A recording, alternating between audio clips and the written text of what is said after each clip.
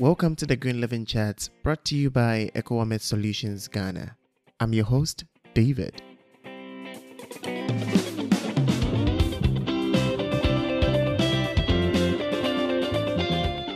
There is a saying when the last tree dies, the last man also dies. This is a very common saying among the African community, mainly throwing a lot of emphasis on how human values the tree. Well, today we are not just talking about the trees, but biodiversity. If you don't know what this is, check out our last episode with Gideon Deme Gywa, an ecologist with the Chinese Academy of Sciences, who took some time off to discuss with us what biodiversity means and how human actions are influencing it. Today, we specifically dive into climate change and how it is a threat to biodiversity. We also discuss details why we should do everything to protect our biodiversity and why you, somewhere in a village, in a city, or wherever you find yourself, should be concerned about human impact on biodiversity. Here we go.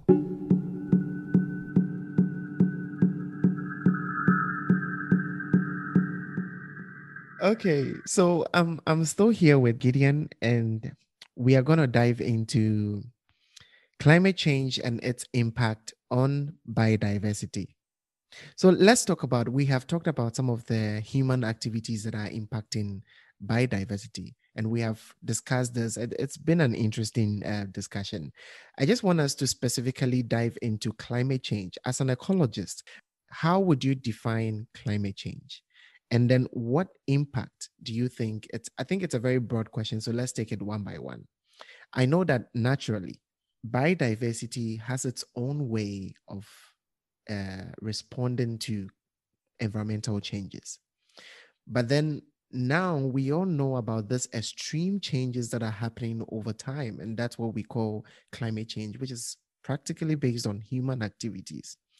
When these extreme changes happen, how does it affect biodiversity?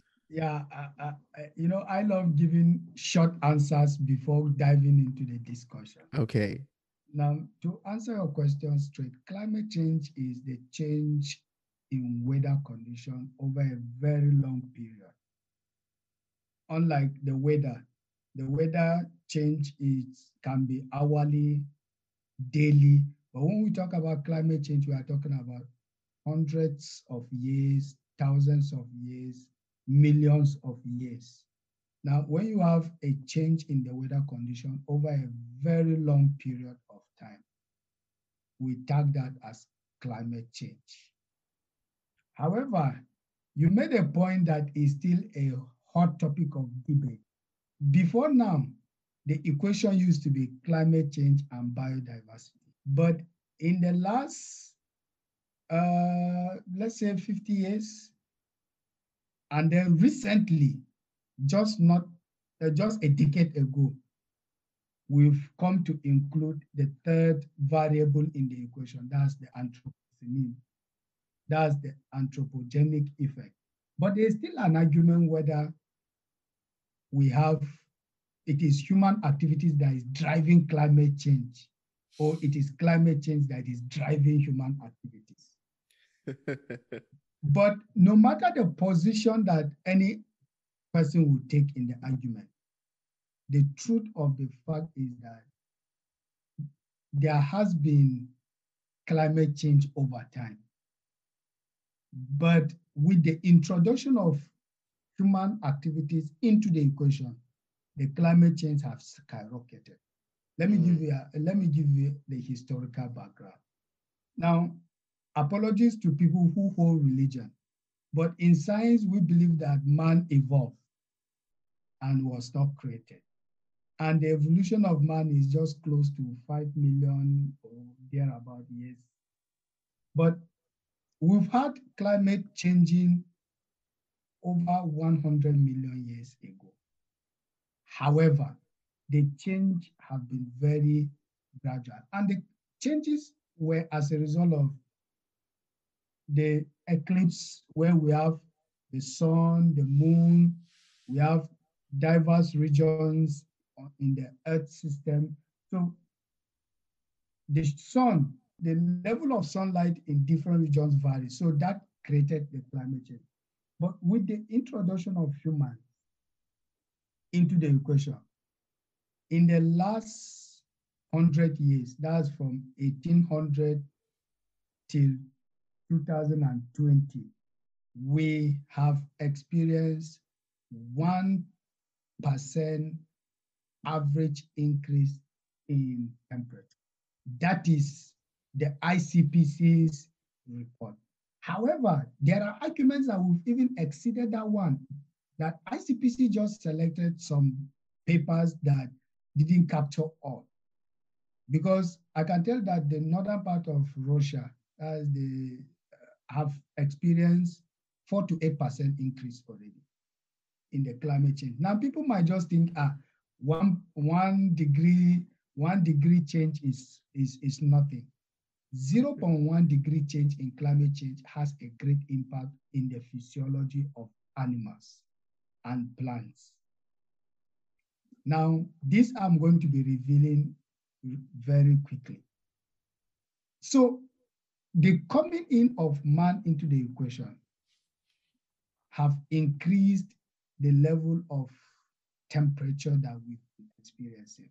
Mm -hmm. A recent study that was published in uh, Nature, Nature Communication in 2017 showed that in 2016, we had the hottest April, month of April in the last 100 years, where we had 0.1 average degrees, but as at 2016 April, the temperature had increased to up to 0.8. Now, last year, based on ICPC's report, last year September was the hottest September in the lifetime of man.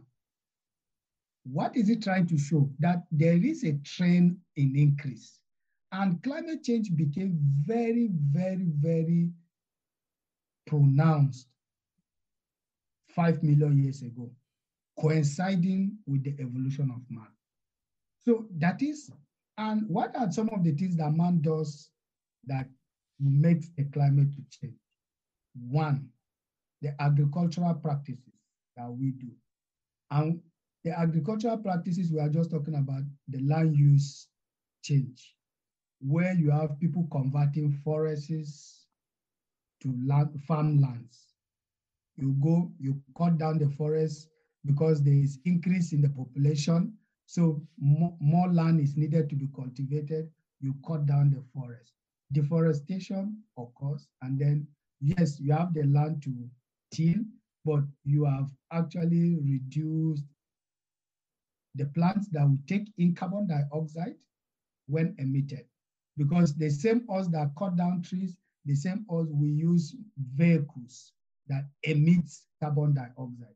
So we are overburdening the carbon di- the, the, the atmosphere with carbon dioxide with lesser plants to absorb the carbon dioxide. Now, aside that, when we go to farm, we use our fertilizers. The nitro, the, the nitrous oxide is one of the greenhouse gases that causes climate change. So with this, you might be right to say human activities is driving climate. And so now that is the discourse around climate change. Now to answer your question about biodiversity, how biodiversity is affected. Biodiversity is affected greatly when there's a slight change in the temperature or precipitation. How? Physiologically, the biodiversity is burdened, whereby we have the metabolism of either the plant or the animal rising and so you are increasing the cost of the physiological cost of this animal to maintain its, uh, its metabolism. That means the animal will have to work less, and rest more to balance up the physiology. In the case of uh, life-bearing animals, that's those that are pregnant. Mm-hmm. Studies have shown that when they are pregnant, they reduce their level of exposure to hot temperature because it affects not only them, but even the fetus that they are carrying. So we are increasing what we call the cost of production, reproduction for these organisms. And when we are increasing the cost of reproduction, it comes with what we now call trade-offs. That is, animals have to forego some certain things to maintain some certain things. For instance, yeah. you see an animal physiologically reducing the number of offspring that she would have given birth to invest in a few. Instead of giving birth to 10, that animal, especially in reptiles, will go to give birth to three and invest more for the offspring to be able to withstand the challenges of climate change. That is for the life bearing. What about the egg laying? The egg laying have devised a means that they can retain the egg for up to 15 days. Now, for an organism, for a, a, an animal to retain an egg for one day, it takes a lot because it has to feed more. The, the, the, the, the, the, the, its movement has to reduce. And then you are exposing it to predators because when a predator is coming, the rate at which she will run fast will be reduced because she is carrying the eggs. You are reducing, you are exposing this animal to danger because of the climate change. So climate change affects animals in That's various ways, in so many ways. In uh, but to put it in summary, it affects the animals in terms of life history. When we talk about life history, that's the fecundity, that's the survival, thermoregulatory behavior. It affects the animal in number of clutch size, like I said, where it will have to reduce from 5x to 2x, or in the number of litter size, that's the number of live births that she will have to give birth to. That's for the life history. Physiologically, you increase the burden of metabolism of this animal. And then you talk about biochemically, you talk about genetically. And in genetically, it will interest you to know that climate change affects the telomere length when we have a hot environment, the telomere length reduces. And anybody who has the knowledge of genetics will tell you that telomere length determines your lifespan. You die as a result of the vanishing of telomere length. As you are aging, your telomere length is reducing. And that's why today we have in the field of ecology, the hypothesis we call live fast, die young. And it's as a result of climate change, where research have shown, or is still showing because it's species dependent, as I have said. In some species, where you have a hot environment, which is as a result of climate change, you tend to have a big bigger offsprings because, of course, the mother will have to invest more in producing the offspring. So you have bigger offsprings that looks cute facially, but have shorter telomere length. And so they die faster than those produced in a cooler environment where they look smallish in structure, but they have a longer telomere length, so they live longer. So we, we now term it live fast, die young. Yes, you are beautiful, you have good body size, but you die fast than living the other. So climate change has a lot of impact on biodiversity. Now, talking about the plants, because I've been talking about animals, there are some plants that their sex is determined by the temperature of the environment. And so if you have a hotter environment, you have more of the male gametes produced. Uh, uh, the female gametes, sorry, so to say, you have more of the female produced.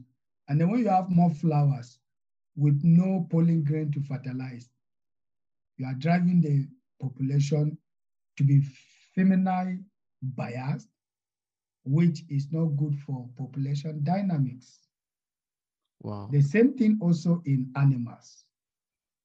So if we, if I will summarize, it's something we can discuss for years, but since we are time bound, I would just say that climate change affects the biodiversity negatively and fast. In the last, from 1500 to the 20s, we've lost more than 10 million species of animals alone to climate change and human activities. And based on the report of the Intergovernmental Panel on Biodiversity and Ecosystem Services, we are to lose 1 million species before the end of the mid-century, that's by 2050, if we, the stakeholders, don't take action. Interesting. You know, now someone will just ask a question that, I mean, all the things that you're saying, it, it does it does make sense. They understand all the things that you're saying. But someone somewhere doesn't understand why he should be really concerned because these are not things that we see every day when we go out. Probably you hear on the news that, hey, we don't have this anymore. We don't have this anymore. There are even certain places where we just see that uh, there are so many, there's smoke in the atmosphere, there's company emitting gases. And it's just, it's just things that this biodiversity issues impact, we don't see that every day. So why should an individual be concerned about this? Uh, okay. Yeah, you know, like you rightly say, people might not actually see the impact physically, but whether we like it or not, we are feeling the impact. And I will just link it to the ecosystem services. The ecosystem is supposed to provide food for us. The ecosystem is supposed to provide medicine, medicine from uh, or raw materials which we will use. The ecosystem is supposed to provide beautification where we have rest of mind when we look at nature. People will just look at some flowers and they will feel at peace and relaxed and say, oh, what a beautiful flower. But let's not even talk about that because that's in the subconscious. Let's talk about the one that in the conscious now. One of the effect is in the drastic reduction in food production. And that is driving a lot of societies into hunger. Now, how many countries can boldly feed themselves now. It's because we have successfully brought ourselves to a, a one degree change that it affects our food production. And aside affecting our food production, it affects the beauty of the environment. It affects our raw materials Let's go back to history for the sake of people who are coming from Africa and will be listening to this. In time past, a lot of people in Africa had a lot of medicinal resources that they just go to pick as a form of plan and just take. Now, how many of us have seen such plants of recent? They are nowhere to be found. Now, that is for people in Africa. But now let's talk about it. Let's talk to the whole world now. The artemisinin or the malaria drug that is being produced or these supplements that a lot of companies have gone into that is bringing billions of naira into the economy are plant products. Now, if we continue with business as usual, that's the term in climate change, where we don't care, we don't change our attitude. A time will come whereby we will not have those food supplements to help support our life. A lot of people who might be listening to this are fans of the seafood. if we successfully continue to, to, to do actions that will increase the change, because it is predicted that by the mid of century, would have gone to four degrees change. And by the end of century, it depends on the model you use. But it is a fact that we will, we will not be below five degrees to eight degrees increase in temperature by the end of the century. By 2100, we will not even be having the food to eat. How many of us can even survive the one degrees that we are experiencing already? Where we have temperatures reaching up to 40, 42. That's under one degree change. Imagine now under eight degrees change or under four degrees. That means we'll be reaching almost boiling point. How many can survive under boiling point? Wow. So these are things that we should be very, very concerned about. For the animals that we think we don't actually care about, a lot of the clothes we are wearing for winter are made from the furs of the animals. The mammals, for especially, and the reptiles. A lot of the shoes that we wear that is bringing multi-billion dollars the skin uh, uh, shoes production is a source of income for a lot of people. If mm-hmm. these animals are no longer there, which skin are we going to use? So it is not only affecting us as food production, but even our economy is gradually shrinking. So biodiversity, it's not only, you see, Mother Nature was so generous to us to provide both the economic, the life support, and everything that we needed. But we are using our hands to pull them down because when we continue to impact the gas emission, or will we continue to uh, have more of the gas emission, how many of us will be able to survive the high rate of cancer that has been happening in the last days? I will tell you this, that there are a lot of studies that have shown that some of the viral diseases that we see or that are unexplainable are as a result of the change in the environment. So some of the non-pathogenic microorganisms are becoming pathogenic now.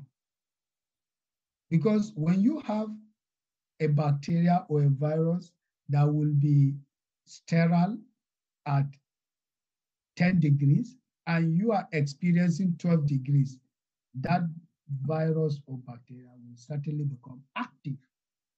And when it becomes active, who is at the losing end? It is us. So we'll have diseases around us we'll have our economy shrinking, we'll have low yield production, and then we will now be having issues around sustenance of the ecosystem. So it is better we trace back our steps now and do things that will not jeopardize increase in climate change. I, I would like us to talk about what individuals can do to make changes. But then I'll, before that, I just want to um, read a report by uh, WWF mm. and uh, a certain portion of it. And uh, I would like to know your thoughts on that. Mm. So, according to the 2020 report, Living Planet Report 2020, page 56 and 57, it says that since the 1970, our ecological footprint has exceeded the Earth's rate of regeneration. And if you look on page 57, the activities that it is talking about that hum- that humans have exceeded the Earth's uh, limit for regeneration. Most of these activities are by companies and industries. Now I know that people in the industry in, in the research industry, um, you guys keep on putting the reports out there. What are you doing to relate or to send this this report to the industries who are in charge of all these things? Do they see these reports or do they have any link between the report, I mean, the research team and the industry? Because, well, if you look at these reports, it just becomes mind blowing that we keep on doing all these things and we have research teams keeping on giving us reports. I know that these reports come in annually and all that. What is the correlation between the research and the industry? Yeah, uh, you know, David, that's an interesting question. And it goes back to say that, yeah, a lot is being done. And let to comment on that report which you just read or you just talked about. We have actually exceeded the ecological footprint because if you look at the unofficial population of the world now, it's around 8 billion unofficial. Now, what is the landmass to the population? You, you will imagine that the system or the earth system, the land only covers around 30%, and then the remaining is water bodies. And that 30% it's where the supposed 8 billion people are to live. It's supposed where the plants that are into millions of species are also to live. It's supposed where the animals that are into millions of species are also to live. So already the ecosystem is overburdened. and that is why there is an argument now that, okay, since the ecosystem is overburdened, should we share the land with the biodiversity or we should spare the land? People are saying already the population is on the increase and we don't see, except for some countries that are doing some concerted efforts to reduce their population. But some of the countries are not even contemplating putting in measures to reduce the population. That means we'll keep having increase in population. So what is the reality of the biodiversity? What is the reality now of humans? Already we are having what we call an ecosystem crisis at the moment, whereby the ecosystem can no longer hold on to and give optimally its services. And that's where you have a lot of these disease outbreaks, tsunamis, natural disasters, and well, a lot of natural disasters happening around the world. It's as a result of the ecosystem complaining of being overburdened. So, but researchers are not resting on their oars. Recently, the aborted UN General Council that was supposed to uh, hold, which is being shifted for next year, where UK will be hosting at Scotland. One of the key things that will be discussed is biodiversity, where we are trying to look at heads of government We try to give their commitment to maintaining a good balance of biodiversity. And researchers are proposing, even though it's still debatable, that we should at least reserve 50% of the earth for biodiversity and occupy 50%. Now, how is that 50 going to be shared? It's still a thing of debate, and it's what we've not gotten empirical data to actually, because we are talking about the oceans, the, which we cannot occupy. We are mm-hmm. talking about fresh water, which we cannot occupy. And then we have animals that live on land, and we are still expected to give some parts. So, how is that 50% going to come up? it's a thing of the debate. However, researchers are trying to bring out the model that, okay, we should increase protected areas. That's sparing the land. That we should increase protected areas where we have the animals or the plant species, the biodiversity living on their own.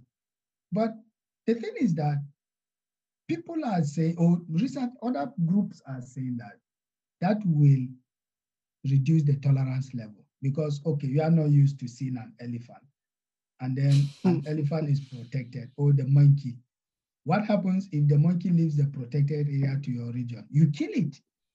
So we are in, increasing wildlife, human wildlife conflict when we protect. So we should share the land. Interesting. How efficient is the sharing of the land is a question of debate because how do you stop the monkey from coming to eat your farm product at your farm? So how are you going to manage living together with snakes where you already have people that detest seeing snakes? how are you going to live together with lions? So it's a thing of the debate. Now to come to your question on whether researchers are just researching and there is no link with industry, far from it. But as researchers, mostly researchers don't have a direct link to the industry. It is the government that makes policy to regulate the activities of industry. So what happens is that researchers submit reports to governments. Government try to look at it, make a policy out of it, for the industries to abide. Now, the big question is, is the political will there to implement? Because when you are telling a private company some certain things, they will come to the table with their own side of the bargain also. Okay, if you tell me to do this, what is my gain? Because all I want is money, profit. I set up business for profit. So it is basically the government that owns. However, there are good news that I will tell you. For instance, in the last UN General Council, where a lot of these big guys, big big countries were made to make commitments towards reducing the burden of carbon emission. China, which is one of the largest country that emits carbon because of the fossils, a lot of industries they have that burn fossil, made a commitment to reduce to almost zero emission by 2050. And they are doing that to, by converting to clean energy. Now, US that was that is also part of the big guys that produces a lot of carbon. We had a president who didn't believe in climate change, and he withdrew out of the Paris Agreement, the 2015 Paris Agreement. But the incoming president, that's Joe Biden, president elect, has already made a commitment to rejoin the Paris Agreement. So that is a big relief to the world that, okay, we will have a commitment. Now, during the meetings of the head of states, every country is usually made, though it's not compulsory, but you are being convinced to make a commitment because you are being shown, okay, this is your carbon emission rate now. What are you doing to reduce the burden? Okay, give us a timeline. By 20, by mid-century, how will you have moved towards zero emission? What of the end of the century? So, and all these are credited from the researchers' output because the researchers, when they when they research, a lot of these developed countries, they have a link with their researchers. They fund research a lot. Where we have the big problem is the third world countries, the developing countries, where there is a sharp disconnect between researchers and government. I can tell you for free even that most of these politicians might even see you as somebody who just want the money to go. But they fail to understand that from the grants researchers get, it's not for personal use. It is being channeled into the research and the data is made available. But you know, since they don't have that understanding like the developed countries, there is a disconnect. However, the developed countries are coming in to help. That's where you have some organizations like British Ecological Society in UK having special funds for ecologists in Africa.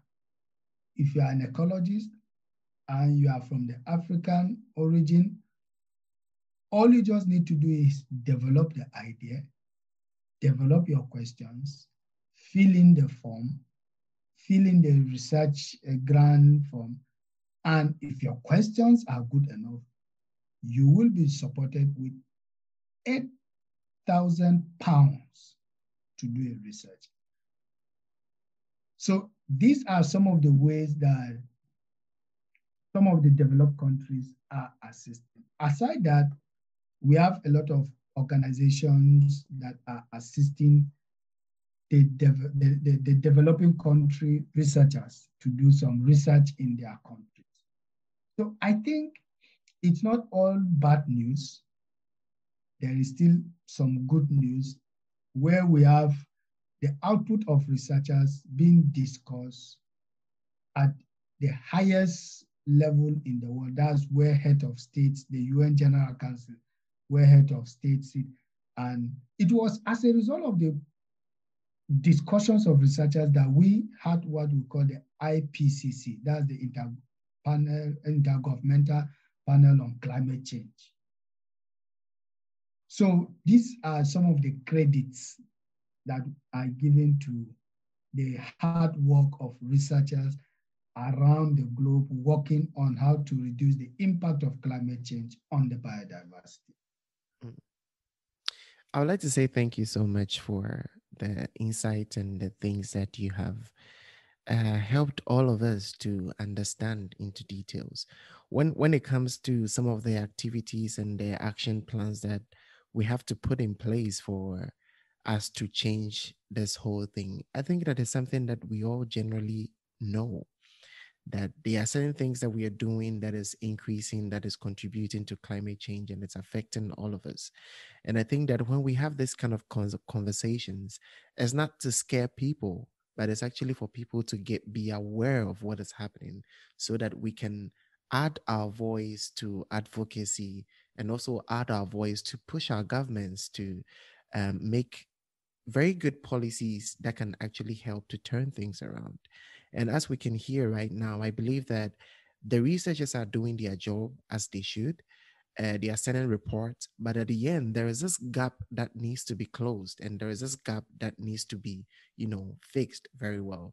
Because passing the message from researchers to the industry is something that is very difficult because industries are interested in profits. How do we get the industries to, you know, start getting interested in profit and the environment?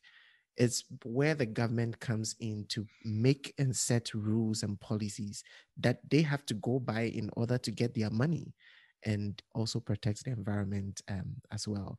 So I think this has been a very educative section. And I would like to say thank you so much. I don't know if you have any last words to say. Aside looking at the government, we as individuals, we have our small roles that we can play. For instance, if we reduce our burden on the industries, if we reduce the demand of their product, they will be forced to buy below. But where we have a lot of us going in for cars that still emit carbon, maybe because of the cheap in price, when we have a lot of us going into deforestation, hmm. where we have a lot of us still in this 21st century not controlling the birth rate, the population, then in our own way, we are worsening the situation. Because it takes people to have a climate change, and it takes people to reduce climate change. So some of the things we can do is simply, it doesn't take anything for you to, if you are going to somewhere two kilometers for you to trek or use a bicycle that emits no carbon. But we have developed attitude whereby even if we are going to where it's just 500 meters away, some people will still enter car or still ride a vehicle that emits carbon. So we have to do some certain concerted efforts to reduce the climate change on our own. Aside, then we now leave the government to the burden of trying to force the companies to live in. I can tell you that in China and other big countries, there are places you cannot site industries. And there are places that even if you site industries, they make it clear for you that you must use a clean energy source. Dude, we still have companies that have been converted to the clean energy, still burning forces because of the cheap coal, because of the cheapness of coal. But governments are doing their best. Now we need to complement the effort of government by our own attitudes towards climate change. If not, as I have said, the ecosystem is already overburdened. The effect will still be on us. So let's take some concerted efforts to have a better society that we will have a better biodiverse ecosystem and then we will be served better by the ecosystem because the ecosystem is for us. Yeah. Yeah. Wow. Beautiful. So thank you so much for coming uh, today, Gideon. I really, really, really appreciate the time that I had with you. And I hope that we can have you another time to discuss other areas of um, the ecology and uh, biodiversity. And thank you so, so, so much for your time. Thank you for having me. It's always a pleasure to share my thoughts on some certain issues.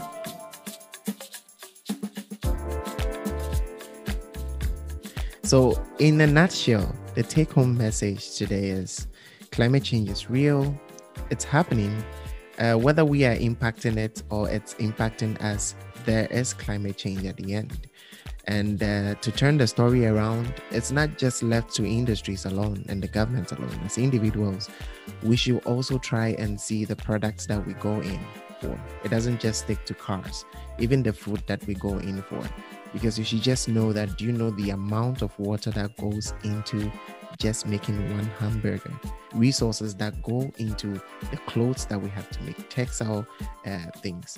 So let's support local shops. Let's support local markets instead of going to the big supermarkets that are heaped with plastics and and all that. Let's also show the industries that we actually want to go back to the small things that we need provide us the things that we need, not more than what we need. So, you as a consumer, when you're going in for something, you should also check it out whether you really need it or it's necessary for you to get it. And where it's coming from, look into it because it's value for money.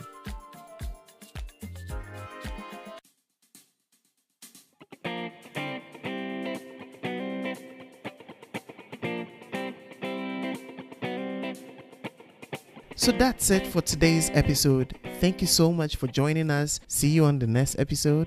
Until then, live green.